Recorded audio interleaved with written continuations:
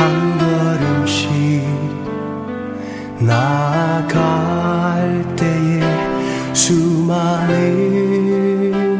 적들과 견고한 성이 나를 두렵게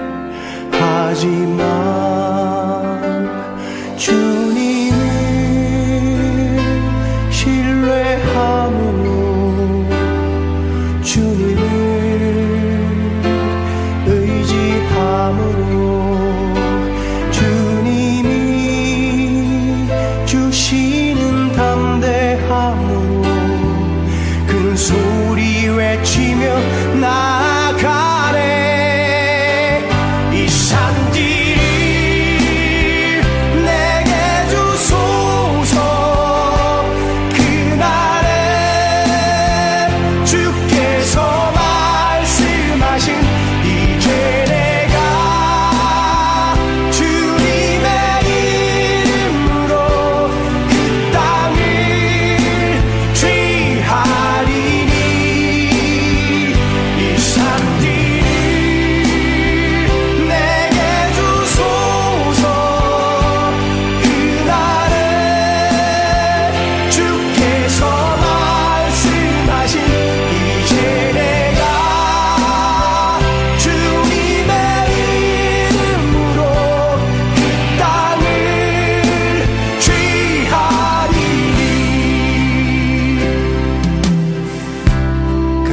여호와께서 말씀하시니 이 산지를 내게 주소서.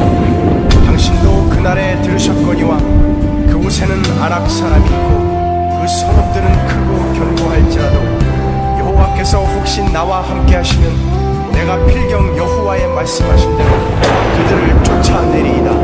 그날에 여호와께서 말씀하신 이 산지를